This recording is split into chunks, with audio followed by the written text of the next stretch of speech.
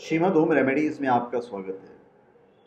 और हम आपको बताएँगे हमारे हथेलियों में जो आधा चंद्रमा बना होता है ये वाली, ये, इसका राज क्या होता है?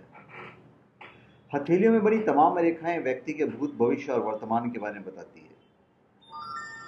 आज हम आपको हथेलियों में बनने वाले आधा चंद्रमा के बारे में बताएँगे, जो आपके भविष्य के बारे में बहुत कुछ बयान करती है। हथेलियों पर बनी हृदय रेखा जो छोटी उंगली के नीचे से शुरू होती है, यहाँ से। आप दोनों हथेलियों को पास लेकर आए। इस तरह जब आप देख, लेकर आएँगे तो देखेंगे कि आखिर किस तरह का पैटर्न बन रहा है। दोनों हथेलियों पर मौजूद इन रेखाओं से।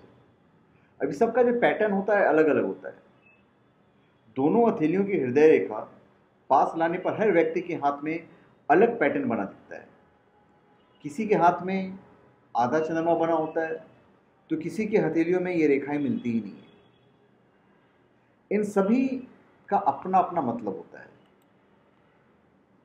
हम आपको उन्हीं मतलब के बारे में बताएँगे कि आखिर क्या मतलब होता है इनका। तो आधा चंद्रमा, तमाम लोगों के आधा चंद्रमा बना हुआ दिखाई देता है और जब दोनों हथेलियों को साथ लाते हैं।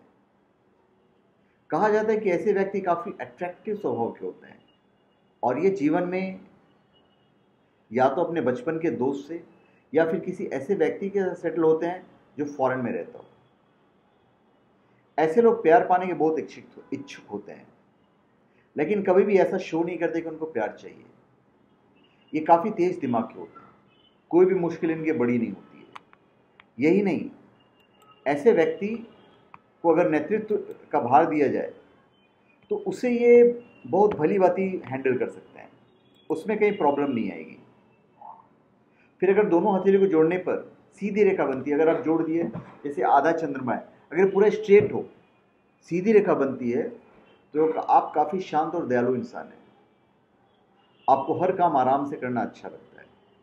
वैसे कहा जाता है कि ऐसे लोग बहुत कम ही होते हैं, जिनके हाथ में सीधी रेखा बनती हो। अगर आपके हथेलियों में ऐसा पैटर्न बनता है तो एक चीज़ और हम आपको बता दें, ऐसे लोग बड़े अच्छे इंसान होते हैं। अगर आप इनसे रिश्ते बनाते हैं तो कभी आप घाटे में नहीं रहेंगे। और कभी कभी होती है जब रेखाएँ मिलती ही नहीं है। हथेलियों को जोड़ने पर अगर ये रेखाएँ जुड़ती नहीं है और टेढ़ी मेढ़ी नज़र आती हैं मतलब ये जुड़ेगा, यहाँ यहाँ पे जुड़ेगा ही नहीं अगर आड़ा टेढ़ा रहेगा।